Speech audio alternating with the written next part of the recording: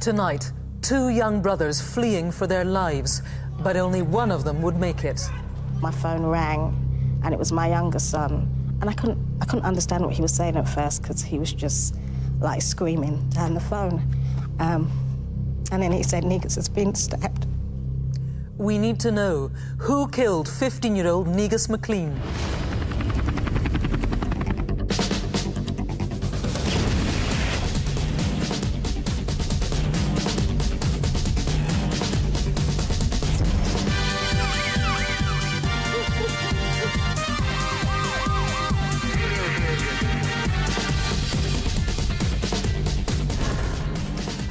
And welcome to Crimewatch. We are live for the next hour with a studio full of detectives from all over the UK working together and ready to take your calls on tonight's cases. We're going to have more on the murder of 15 year old Negus McLean very soon. But first, let's take a quick preview of our other appeals.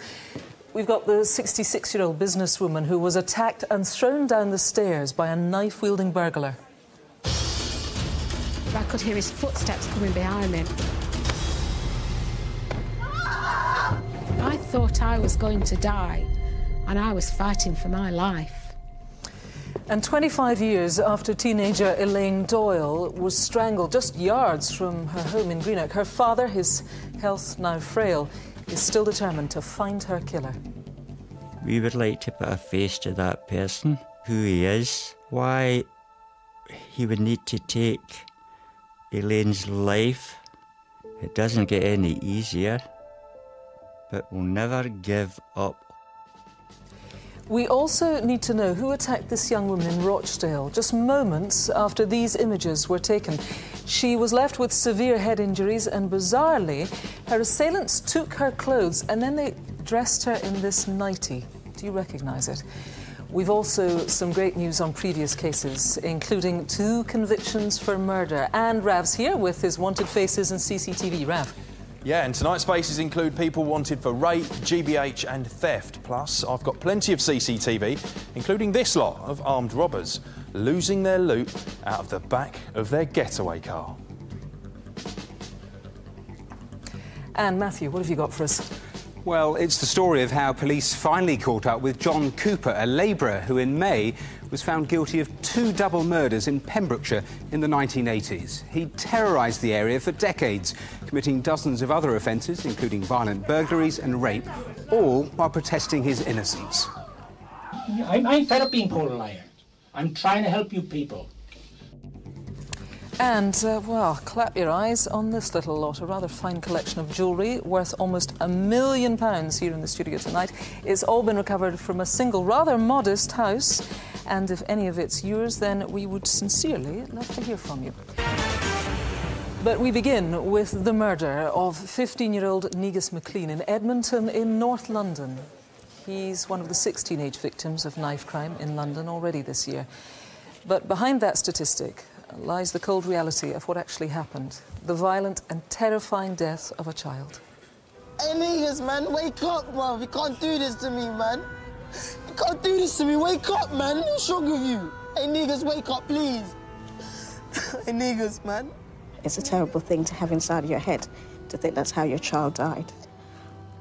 I have no words to express how it feels to hear your son is dead and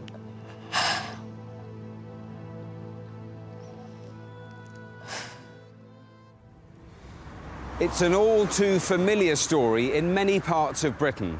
Young men, often no more than boys, being killed by their peers. But this time, the true terror of these attacks has been captured on camera as a brutal gang intent on violence take to the streets. All right, boys? For Ingrid McLean and her children, Sunday, April the 10th, had been much like any other. Ingrid was meeting her sister for lunch, while her 15-year-old son Negus and his younger brother were planning to meet up with friends. I would say they were more friends than brothers. You know, sometimes they say you can't choose your family, but they would have chosen one another, without doubt. Um, to his younger brother, he was everything that a brother if you look in the dictionary what brother meant, means, that is what he was to his younger brother. They set off together towards the local park, their route taking them past Hertford Road in Edmonton. But little did they know that a violent gang of youths was circling the area just a few hundred yards away. As Negus and his brother arrived here, at the corner of Hertford Road and Bounces Road, they came face to face with the gang.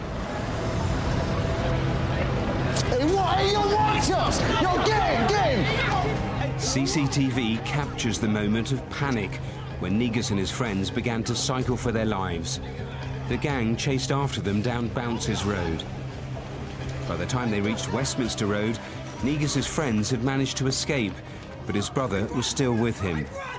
Negus told him to keep running, while he stood up to face the gang alone. Telling his brother to run and not look back, just go, is him. He, that is just him. He wouldn't have thought twice about himself. He would have just thought about protecting his brother.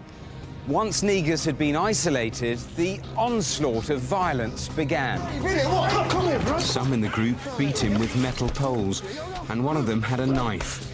He began stabbing Negus in the legs and stomach. The attack lasted less than a minute, but the knife was used with such force that the blade snapped off inside his body. My phone rang, and it was my younger son. And I couldn't, I couldn't understand what he was saying at first because he was just like screaming down the phone. Um, and then he said, Negus has been stabbed.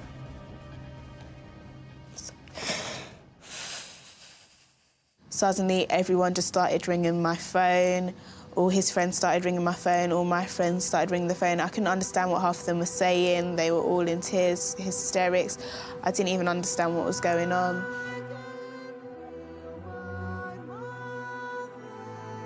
And when I got there, they wouldn't let me see him because they said they were working on him. Despite the best efforts of paramedics and bystanders, this is where Negus bled to death. Police are now desperate to catch those responsible before they kill again. Steve, is there any evidence to say whether this was a, a targeted attack? Well, certainly the, the gang recognised Negus. We know Negus has got some links to a, a, local gang. He's not heavily involved, but they certainly recognised him and gave chase. People around here will be scared to come forward, won't they? They will be, but they need to recognise that I understand that they may be told not to speak to the police. They may have had previous bad experience with the police, but ultimately they need to have that trust and the confidence to come and speak to us. Take that first step and speak to us.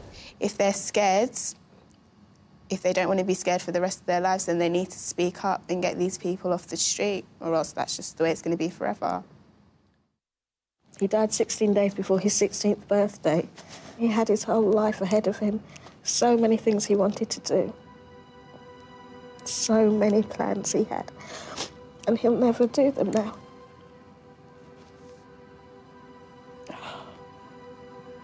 He was always my baby. He was my Negus, and that's what I called him. He was just my perfect baby. And he's very missed. He had his whole life ahead of him. A tragic waste of a young life. I have to tell you, sadly, there have already been uh, two more murders of teenage boys in London since then. DCI Stephen Clayman, who is leading this investigation, joins me now. Thanks for joining us. Um, the blade snapped off in his body. This was a brutal and terrifying attack. Absolutely. I mean, when they spotted Negus, he, he, didn't have a chance. He must have been absolutely terrified. They chased him. I don't know whether they, they specifically targeted him, but he didn't have a chance once they started chasing him. OK, crucial to this case is the CCTV from earlier on in the day. Let's look, uh, first of all, at this. Explain to us what we're looking at here. Well, this is um, Bounces Road, and the gang here are riding towards uh, the junction with Hertford Road. They're quite erratic. They're riding uh, in front of cars, wearing face coverings and the hoods up. Someone must have seen them. Yeah, I mean, if you down. were that pedestrian, if you were in that car, you might remember seeing that. That's quite an unusual thing you to see. You probably have to slow down for them. Yeah, indeed. Now, there's another bit of CCTV. Tell us about this. This is the, the point at which the gang see Negus, they recognise him, they start chasing him, and now, again, yeah, Negus and his, his, brother and their friends are now being chased towards uh, Westminster Road, where he was stabbed. It's really terrifying seeing that, actually. Now, when you were talking to Matthew, you were talking about witnesses coming forward, and of course, you know There will be witnesses, there'll be people who know things who just feel too terrified to talk to you. Yeah, absolutely, and I'm appealing to certainly to people who are, have knowledge of or connected to the gangs themselves. I know and I do appreciate they want, want to speak to police. They're told not to speak, Yeah. but they must take that step and, and, and speak to us. They can ring in the strictest of confidence. I'll take great care, and also I can always meet meet them out of their area and discreetly. But they must make that first step and, and oh. speak to me. Very briefly, big reward here. Twenty thousand pound reward for information leading to arrest and prosecution. Thanks, Vanessa. You've, uh, I mean, you've seen what a terrible impact this murder has had. If you know anything about it, you can speak to the detectives now here. This is the number 0500 600 600. If you are concerned about your identity and you want to call the independent charity Crime Stoppers anonymously, their number is 0800 treble five treble one. Now, Rav has his first collection of wanted faces. And first up is this guy, 25 year old Nathan Allen Lucas from Nuneaton. He's wanted after being convicted of tying up and raping three young women who he met via the internet. He failed to appear at court in Leamington last month and was convicted in his absence. He has links throughout the country and has various tribal style tattoos, including the logo of the band Slipknot on his inner left forearm, though this may have been covered over recently with another tattoo. Next is Rose Denise Williams. The 36 year old is wanted after absconding from Send Prison in Surrey in February, where she was serving a sentence for robbery. Williams, who speaks with an Irish accent, has links to London, Kent, and Belfast. She uses numerous aliases, including the surnames Brown, Hobbs, and McDonough, and has the letter I tattooed on both forearms. Number three here is Farkhar Zaman, and he's wanted in connection with the rape of a woman in Burnley in November 2009. Zaman, who's 39 today, also has links to Manchester and uses the alias Chima Nalaz. He may well be working in a restaurant or takeaway, so why not give him a birthday surprise and tell us where he is? And lastly, Gary Wayne Burke. He's wanted in connection with the large scale supply of heroin and crack cocaine in Luton. Burke, who's 23, has a keen interest in the hip hop music scene and may well be seen at clubs, studios, and events in London. He also has links throughout Bedfordshire. Remember, all of tonight's faces are on the website bbc.co.uk forward slash crime watch. And if you know where any of them are, then the number is 0500 600 600, or you can text 63399 crime space and then your message. Really important to leave that space, or your message won't get through. Now, in February, this businesswoman from the pretty little village of Bradwell in the Peak District was beaten and thrown down the stairs during an extremely violent burglary in her home. Police think the attacker is local and they need your help to catch him.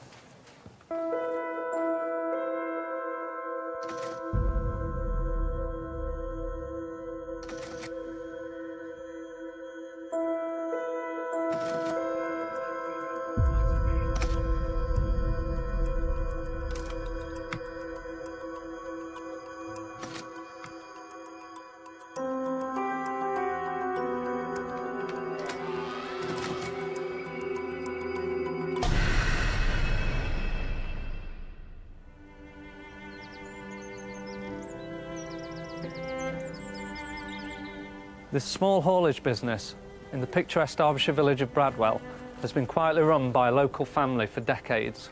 But in February, the owner, Audrey Charles, was viciously beaten and attacked in her own home by a burglar who had decided the elderly businesswoman would be an easy target. I moved into Bradwell in 1968 when I got married. It's been a lovely, happy family home. We've run our business from here, and it's just been my life. My husband had already established the garage business. In 1972, we created our haulage business.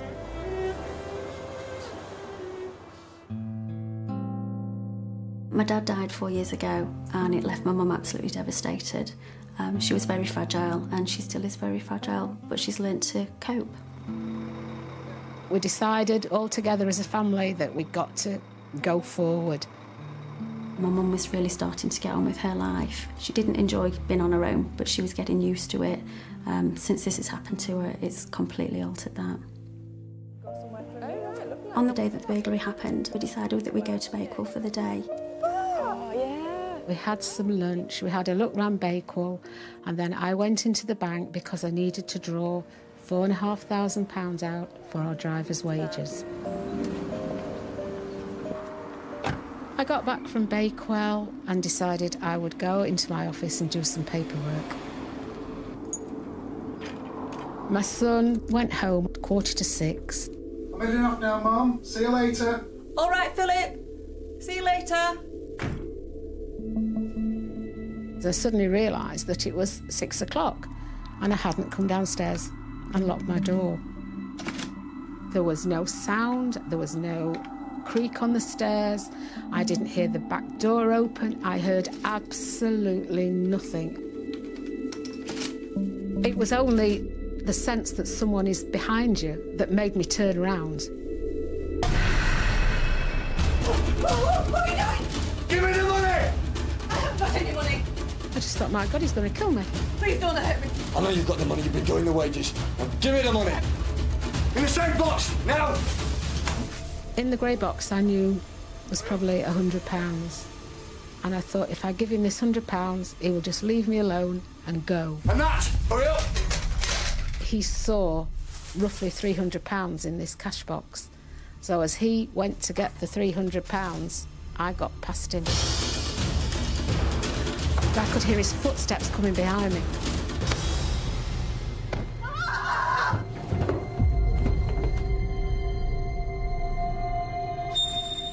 Suddenly produced these black tie wraps.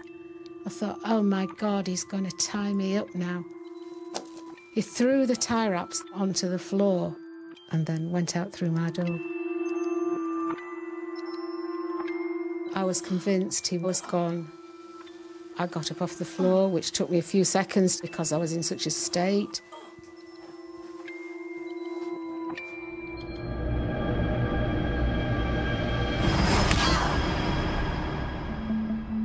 At around 6:30 p.m., two girls waiting at the bus stop on the main road saw a blonde man running from the direction of the house. It's an emergency. Please help me, I've just been robbed. Just now? Yes, it's pushed me down the stairs, it's smashed me in the face. I'm in a right state. Okay, just stay with me.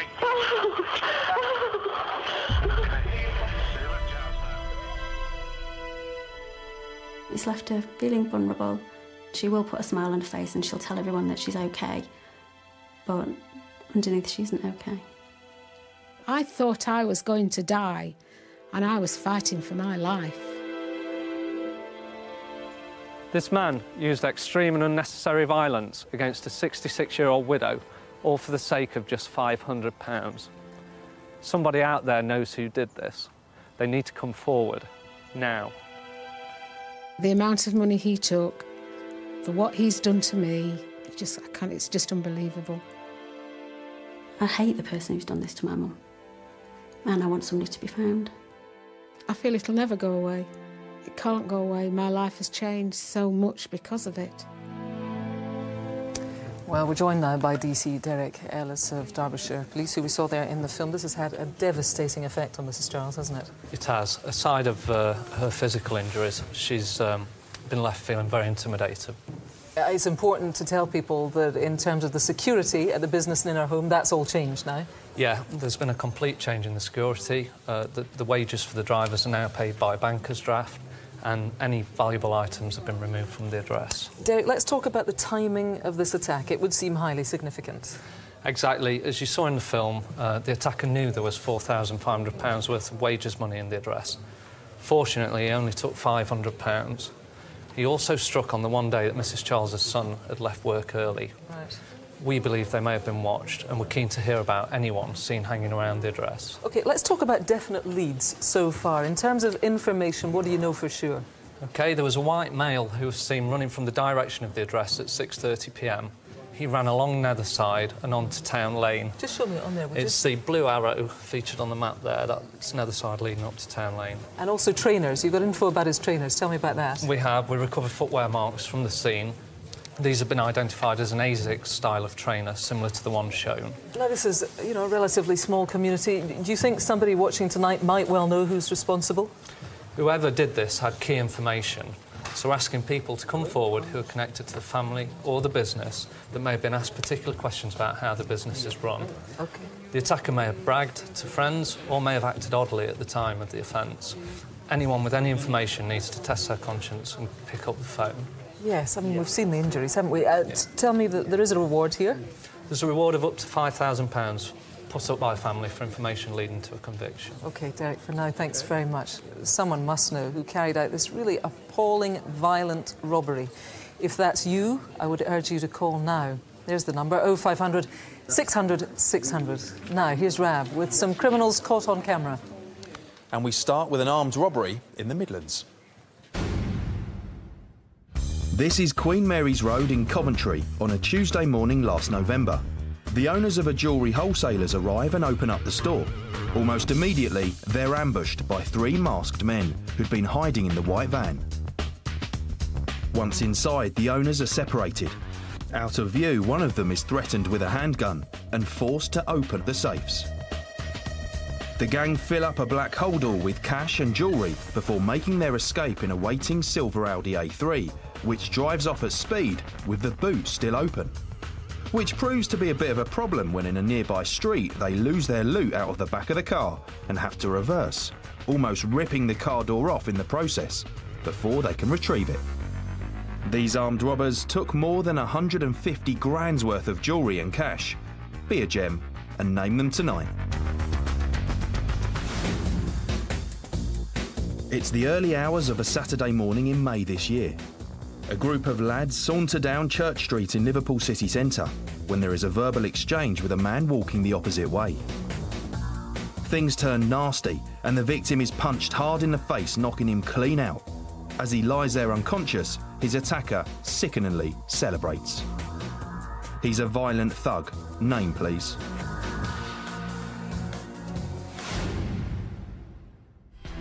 Another town centre, late at night. This time it's Southend on Sea in Essex last August. There's a disagreement between a group of men and two friends. One of them walks off, but the group continue to taunt his friend as well as hurling abuse at him. Suddenly, things escalate, and the man in the white top and shorts lashes out at the man in the check shirt, flooring him with a single blow. The victim's friend returns and is also set upon before passers by step in to help. The man knocked unconscious suffered a broken cheek and fractured vertebrae in the attack. Make the street safer and name this vicious attacker tonight. And that footage is available for another look on the website bbc.co.uk forward slash crime watch. And if you know who any of them are, then give us a call 0500 600 600 or you can text us on 63399, type crime space and then your message. Now, some news on some cases that we've featured previously. Well, you'd have seen that the Milly Dowler case has become a major part of the News of the World phone hacking story. But we shouldn't forget that beforehand, we finally had the conviction of Levi Bellfield for Milly's murder in 2002. Serial killer Bellfield was found guilty after a seven week trial at the Old Bailey. In a special programme, Kirsty spoke to Milly's sister Gemma about the ordeal of the trial. The first two days when my mum and dad were questioned, um, by the defence and the prosecution was probably worse than the day that she went missing. It was that extreme. It really was. You just can't explain how horrific it is, it is in that courtroom until you are actually in there. In May, we asked for your help after a student was raped as she walked home in Brighton on Valentine's Day. Well, as a result of a call to the programme, police arrested and have charged a 27 year old man from Kent with rape. He's due in court in August, and we will, of course, keep you updated on how that progresses. Well, next, a shocking murder we've featured several times over the years. Mum of two, Heather Barnett, was killed in her Bournemouth home in November 2002. She had a lock of another woman's hair in her hand when she was discovered by her two children. Well, two weeks ago, a 39-year-old Italian man, Danilo Restivo, was convicted of her murder. The judge told him that he'll never be released from prison. Italian police now want to extradite Restivo to stand trial for the murder of a woman in southern Italy in 1993. In February, we appealed for the help with this investigation into the murder of student Samuel Gadira, who died after being stabbed through the heart just outside Penge East train station in Sydenham in southeast London. Well, a day after the programme, Crime Stoppers received a call from a person with information about Samuel's death. Tonight, detectives are asking for that person to get in touch again. You can speak to Crime Stoppers or directly to the officer leading the case, DCI Lawrence Smith, on this mobile number 07404 823 299. I'll give you that again. It's 07404 823 299. So please, if that was you or if you have any information about Samuel's death, then do please get in touch tonight. Right, still to come. Uh, the woman savagely beaten and left for dead in a Rochdale alleyway. Do you recognise this? It's the night dress that she was found in. And Matthew has the shocking story of how serial killer John Cooper was finally brought to justice. Yes, he's a brutal but calculating man who for years denied responsibility for shooting dead two married couples. But in the end, his lies were no match for the advances in forensic science. It was quite clear that that firearm was causing him significant issues. In the, the debrief after the interview, um, I think it was one of those eureka moments where we all were quite satisfied that that was the murder weapon. And just come over here, take a little look at this. Almost a million pounds worth of stunning jewellery. We need to find out who it belongs to. That's going to come up very soon. But first, Matthew has the latest on what's been happening on the phones. Matthew. Yeah, let's briefly interrupt Steve and his team investigating the murder of Negus McLean. Steve, what, what's come in so far? Well, I've got to say, in this short time, I've had a fantastic response. Um, there are people who are ringing in, naming names, which is fantastic, and I will be talking to them uh, in, in, the next coming in the days because it's really good that they are having the confidence to ring me and, and speak to me. Um, others are, are providing us with street names, which is again is fantastic. What I would ask if, okay. if people can actually give us the full names as well. So street names. And, and do you know names. if the names are gang members? Yes, and it appears they're other gang members. So it's really important that if they're naming gang members, they give us the full names as well as the street names. and well. there's lots of witnesses with the CCTV. A frenzied attack, terrifying attack for Negus. It was. I mean, you know, witnessed by his brother. He stood no chance. He was outnumbered uh, and stabbed several times. He really didn't stand a chance. All right. So good luck. And Steve is here waiting for your call. Now, Rav's got more of his wanted faces. And first in this section is this lady, 21-year-old Hannah Parveen. She's wanted in connection with neglect and ill treatment of an elderly care home patient at a hospital in Bradford in 2008. The police believe that Parveen may now be married and using a different surname. Number six is Christopher Ian Edwards, and he's wanted on a recall to prison after breaching the terms of his licence. Edwards, who's 23, was originally convicted of GBH after stabbing a friend in the stomach. He has links to Welling, Bexley, Bexley Heath and Bromley, all in Kent. Now, take a look at this. It's CCTV that we showed you in March of a distraction theft at a jeweller's in Midsomer Norton near Bath, and that's in January this year. As a result of a call to the programme, the woman in red was named as 22-year-old Sava Ankuta, here she is, and the man as 32-year-old Boeri Kvek. There he is at the end. Now, we just need to find them and that should be quite easy to spot because as Ankuta has several gold teeth and a burned scar on the back of her right hand, while Quebec has tattoos on both forearms, with one reading Senorita with a C. Now, they have links to Scotland, Birmingham, London, Dublin and Redditch, and police also still want to trace the other woman with the, uh, in the footage here wearing the white. So, if you know where she and Kuta or Quebec are, then get in touch 0500 600 600 or you can text 63399 type crime space and then your message. And remember, they will all stay online, bbc.co.uk forward slash crime watch until they are caught. It should have been Elaine Doyle's 42nd birthday yesterday. Instead, her family were at her graveside, marking the 25th anniversary of her murder. She was attacked and strangled on the road where she lived in Greenock, in the west of Scotland, in June of 1986. Her parents are now in poor health, and so tonight is your chance to help them see some justice. Greenock in West Scotland during the 1980s was a town in turmoil. The maritime industry was in decline and unemployment on the rise.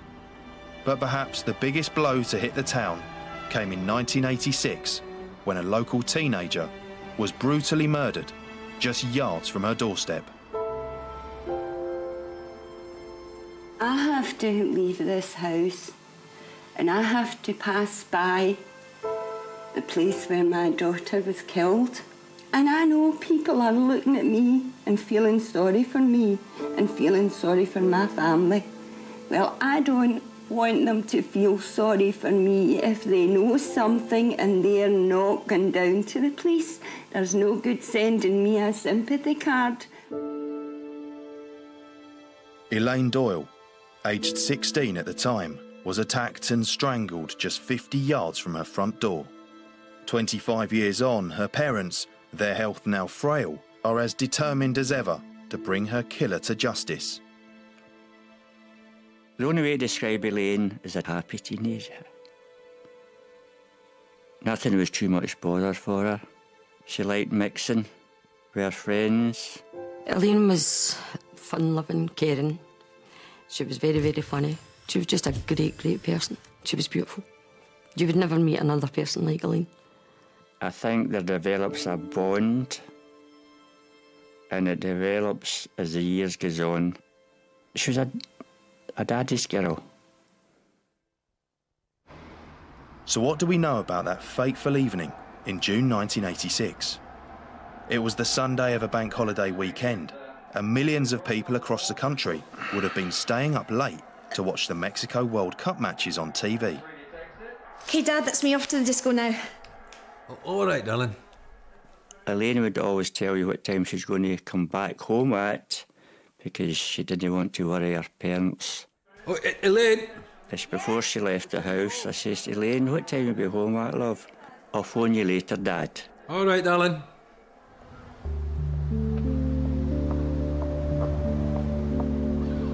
We all decided to go to the, the Celtic Club because we were all off um, work on the Monday. Had a laugh, a wee dance and a, a giggle. There was no serious dancing, it was all to make each other laugh.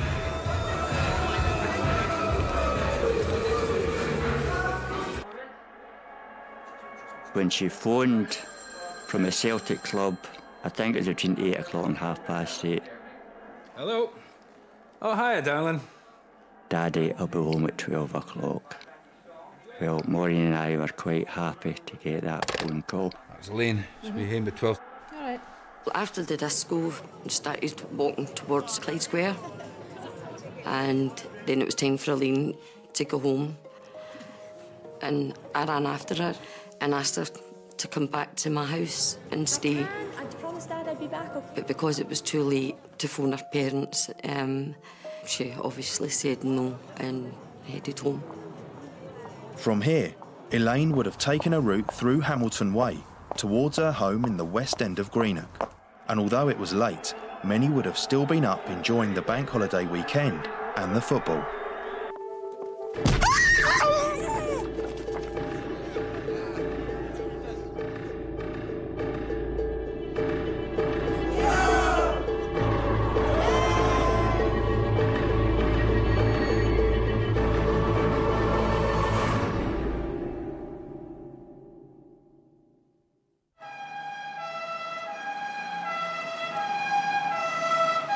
Soon as I found out Elaine hadn't stayed at Lynn's, when I seen the police activity in Ardgowan Street, I knew it was Elaine.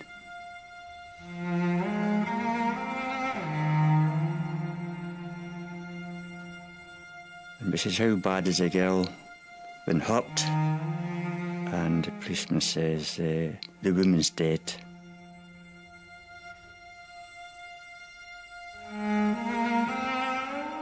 Members of the public will say to you, oh, Elaine was in the wrong place at the time.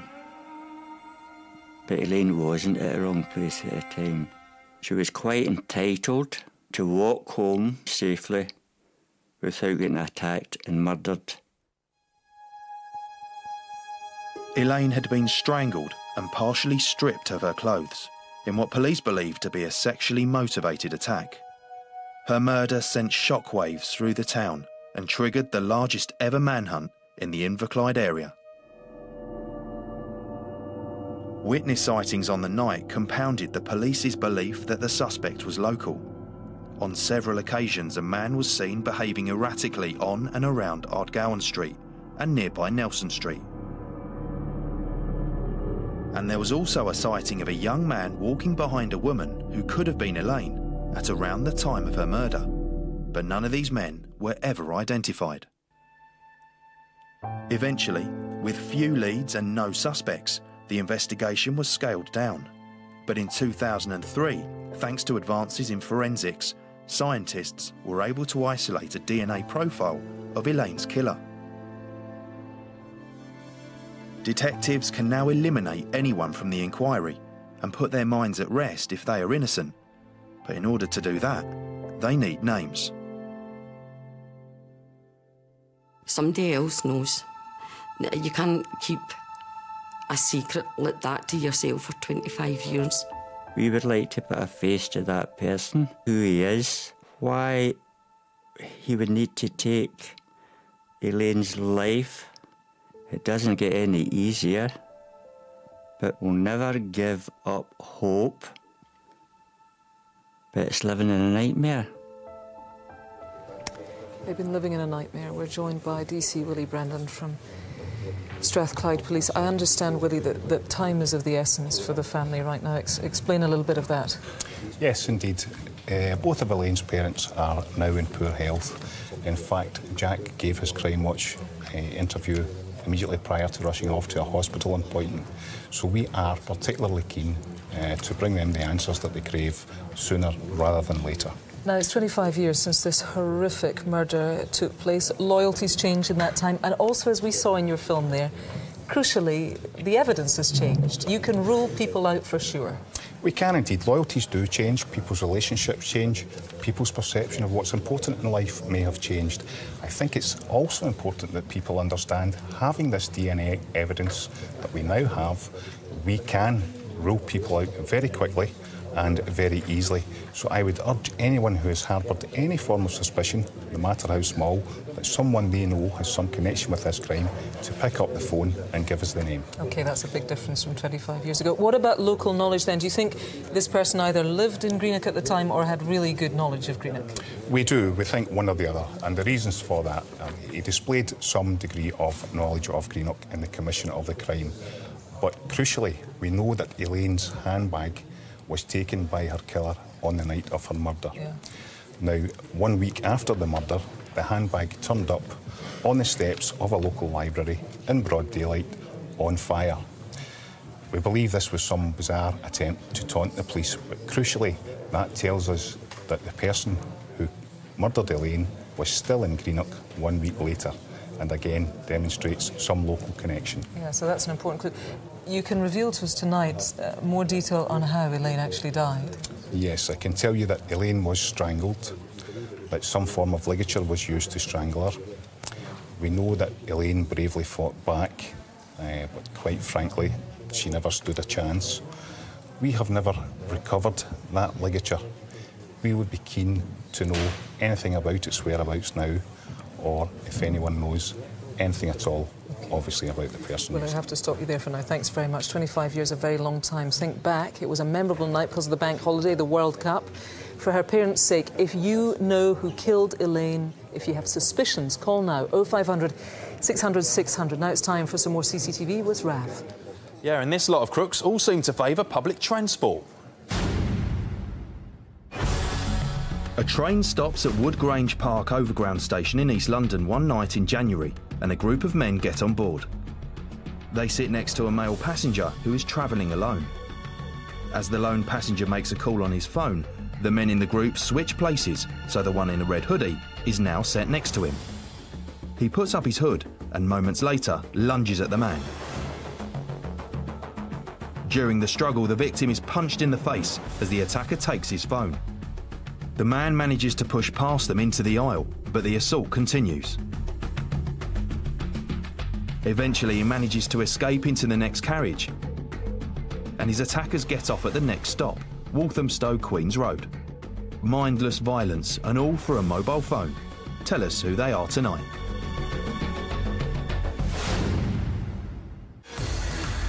We're still on the railways, but downstairs this time at Barking Underground Station during the early hours of Easter Sunday this year. But these two men lolloping into the station are far from good eggs.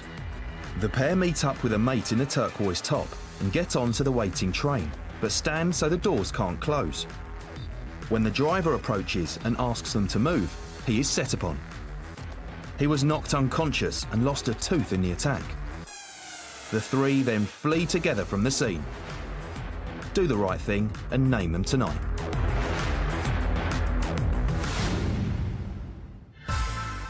This man has just boarded the 119 bus in Croydon, South London, but he doesn't want a ticket. He's aggressive and immediately starts shouting at the driver before attacking him in his cab. Let's make it the end of the line for this thug. Tell us his name tonight. You know what to do? 0500 600 600 or you can text us on 63399. Type crime, space and then your message. Now, a really unusual case of a young woman who was found badly beaten and left wearing someone else's nightdress in an alleyway in Rochdale. With me now is Detective Inspector Melanie Linton from Greater Manchester Police. Thanks for joining us, Melanie. Uh, tell us, what more do you know about this? The victim's Laura, 20-year-old woman, and she'd gone out for the night with friends. Um, they went for a meal, they went tenpin bowling, and at the end of the night, they went to the Lytton Tree Public House in Rochdale Town Centre.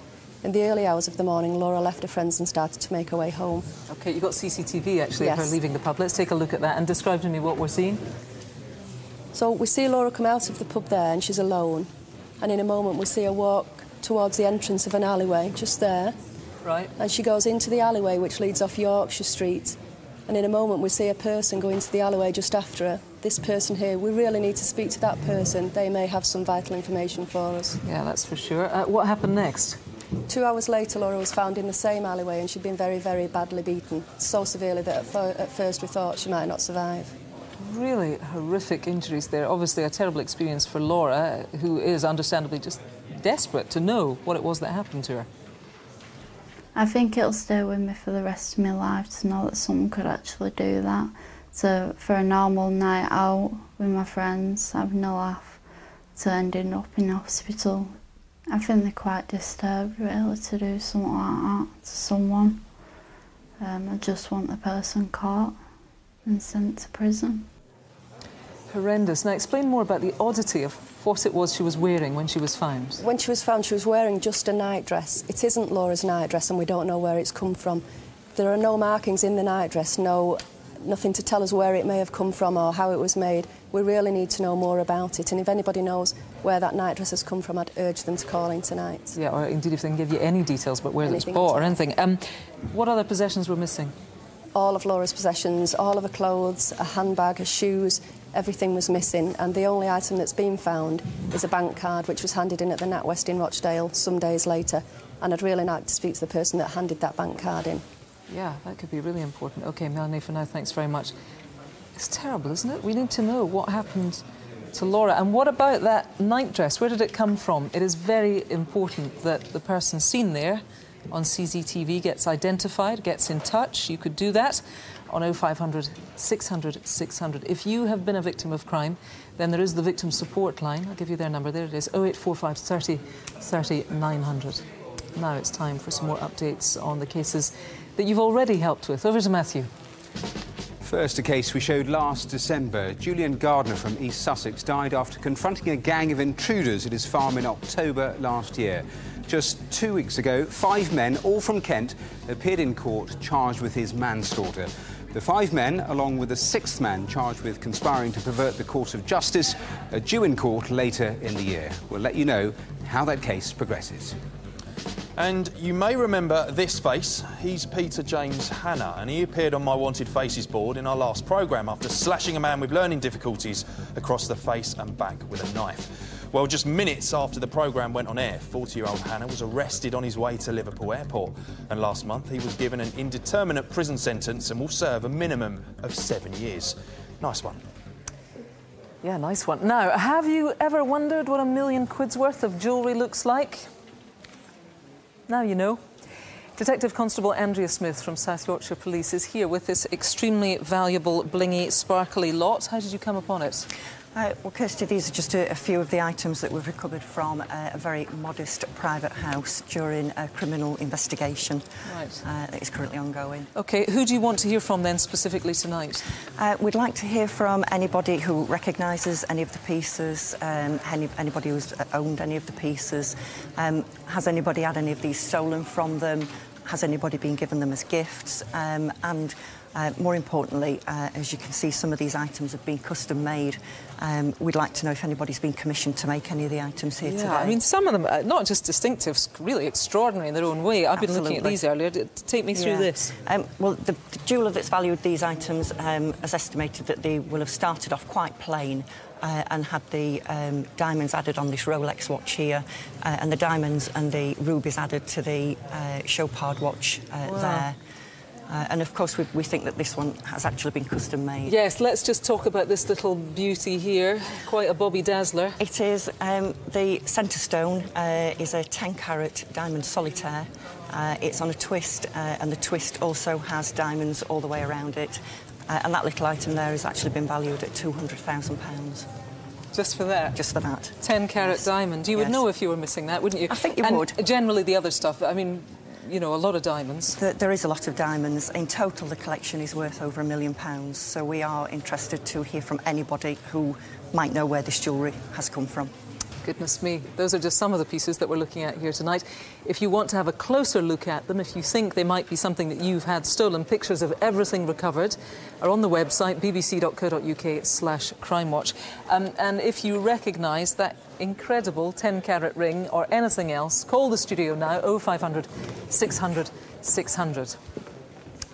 Now, in May, this man, John Cooper, was convicted of a catalogue of appalling crimes. He is an armed robber, a rapist, and a murderer who wrought havoc on a small rural part of southwest Wales for over a quarter of a century.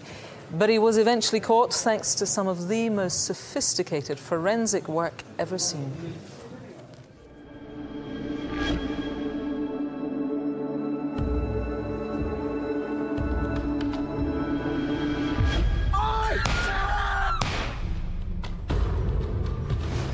On a bright summer's day in 1989, Peter and Gwenda Dixon were murdered on a scenic stretch of one of Britain's most popular national parks. They'd been tied up, shot and robbed. The brutal killings would become one of the most intriguing cases for Dyfed-Powys police, involving terrorist conspiracies, a massive manhunt and decades of forensic work, work which would eventually lead to the conviction of a serial killer. You must judge me after the trial, not before. Get down! Oh. Now! But the Dixons weren't Cooper's only victims. He'd terrorised the local area for 25 years, committing dozens of offences, including violent burglaries, rape, and even another double murder. In the summer of 1989, Peter and Gwenda Dixon had been camping in Littlehaven, a popular spot on the coast in Pembrokeshire in southwest Wales. But when the couple failed to return home to Oxford, their son raised the alarm and a full-scale missing persons inquiry was launched. Five days later, their bodies were found by a police search team.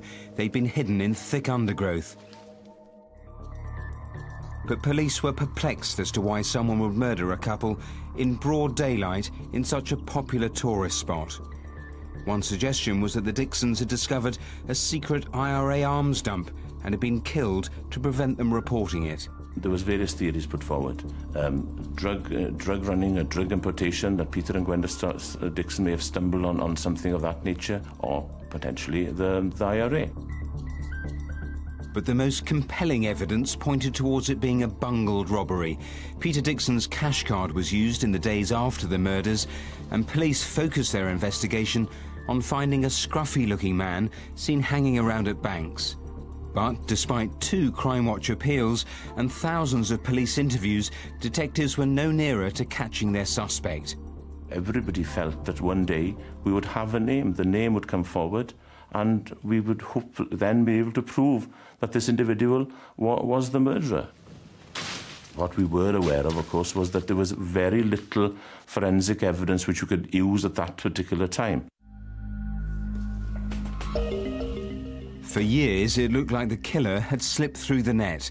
But in 2006, a group of detectives known as Operation Ottawa were tasked with reopening three previously unlinked serious crimes. Among them was the Dixons murder. One of the other cases was the horrendous murders of Richard and Helen Thomas. After being tied up and shot at their mansion at Scoveston Park near Milford Haven, the house was burnt down in an attempt to destroy any evidence. Down now! Get down! They also looked again at an attack on a group of children in 1996 on the Mount Estate in Milford Haven. The assailant had threatened them with a shotgun before raping one of the girls and indecently assaulting another. After two years of tirelessly sifting through thousands of old exhibits, witness statements and images, the team felt that one offender could be responsible for all three crimes. If you look at the ability of the offender to control multiple victims, the rural area, the use of violence, the use of a sawn-off shotgun, robbery, I could be either talking about the Dixon's murder or the attack on the children. For me, that was a significant linking factor when you then run alongside that the fact that the Scoveston Park was only two fields away from the Milford Haven attack. And the name that kept coming up was that of a local labourer. John William Cooper had been uh, arrested and, and convicted in 1998 for a string of dwelling house burglaries which covered the same geographical area as Scoveston Park and the Milford Haven attack. In particular as well, he'd been convicted of an armed robbery. Right! He'd attacked a lone female in the house. He'd tied her up. He'd threatened her with a sawn-off shotgun.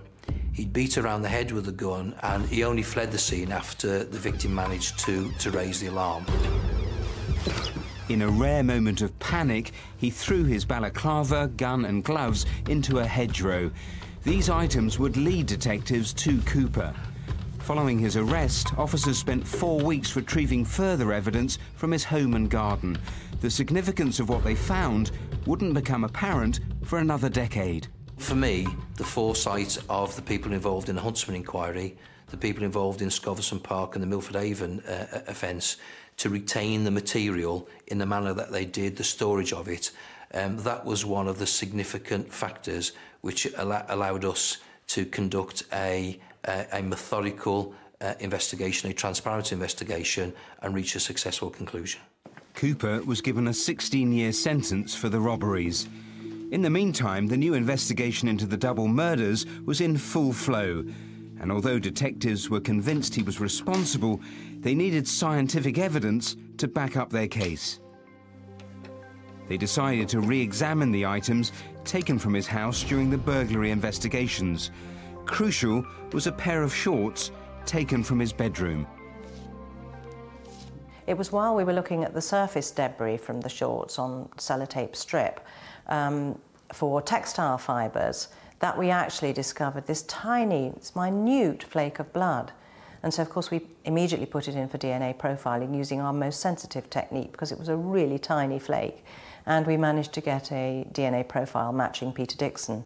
During yesterday's interview, John? Yes. And it was Cooper himself who, during his police interviews, would lead the team to their second discovery. It was a, a firearm which was part of the offence of the armed robbery in late 90s, and it was quite clear that that firearm was causing him significant issues. In the, the debrief after the interview, um, I think it was one of those eureka moments where we all were quite satisfied that that was the murder weapon, certainly for the Dixons, probably for the Thomases as well. So we went back to the gun and had a look, and we found um, we found both from the flakes and from the gun itself. We found that there was blood staining under the paint, and again, when we put it in for DNA profiling, the profile we got back matched Peter Dixon's, and so we were absolutely sure we were on the right track by this time. Despite overwhelming forensic evidence, Cooper continued to deny any involvement. Have you any explanation to give as to how that blood could have innocently appeared on the shorts? I really do not know. More worryingly is my son used to take my clothes whenever he wanted it, and that would be more of a worry for a father. Having resorted to blaming his own son, Cooper was now running out of answers. I, I'm fed up being pulled a liar. I'm trying to help you people. But the facts are, throughout this inquiry, the only person that we haven't been able to eliminate and whose name constantly crops up, be it forensically or otherwise linked to this offence and serious offences, is you. Okay? Because that's all you want to look at. Okay. The time now is 1701 and no further questions. I'm turning the tape recorder off. The decision was made to charge Cooper with all four murders and the rape. You must judge me after the trial, not before. Judge me after the trial. Hang on, mate. Do you want to go in? Yeah, you don't want them to hear that, do you? Over nine weeks at Swansea Crown Court, the jury were told of the damning DNA and fibre evidence that linked Cooper to all three crime scenes. 12 people from the communities of Wales listened to that evidence over that period of nine weeks and found him unanimously guilty of all charges. 25 years after John Cooper began terrorising this small area of southwest Wales, the families of his victims had finally seen justice delivered. Horrifying man. Four life sentences he got. Yeah, judge me after the trial, we heard him say, didn't we? So we all can. I mean, he's a monster, a psychopath. The judge said the murders were of such evil wickedness that the mandatory life sentences would mean just that. He's not getting out. It was great to see the scientists there. Uh, forensics, the judge said forensics really the key to this case. Yeah, the fibre evidence was astonishing, just as the DNA work was as well. Remember, they found a speck of blood the size of a grain of sand underneath the repainted shotgun. It was an incredible discovery. And there was great detective work as well. I mean, Cooper insisted that he looked nothing like the artist's impression of the suspect back in 1989. But detectives unearthed video footage of him on the TV show Bullseye a month before the murders. Let's have a look, because Well, there it is. I mean, okay. there's no denying it, isn't it? It's bingo, it's him. Um, you examined, when you were doing uh, this investigative piece, examined his background. What, what was in his history? What did you learn? It's violence. That is the common denominator over 30, 40 years. I mean, even with his own dog, when it became lame, he didn't take it to a vet, he dug a trench and he spent half an hour clubbing it to death Oh. with his shovel. I know. And that's what he was like in his personal life, in his crimes. That's what always jumps out gratuitous violence. I mean, this guy, there are no redeeming features. He's now where he belongs. Thanks, Matthew. Right, it's time now for a quick check on all of tonight's calls with Rav. Well, we've had loads of calls on the Edmonton murder of Negus McLean. We've had, in fact, over 40 texts as well coming in. Uh, potential witnesses have, have made themselves known, and we're getting lots of names put forward as well. But we need the full names, not just the street names. Also, it's uh, trending on Twitter at the moment. Negus and Crimewatch both trending on there. We need you to talk to us. And very quickly, lots of people, perhaps not surprisingly, getting in touch about the jewellery that we showed you earlier.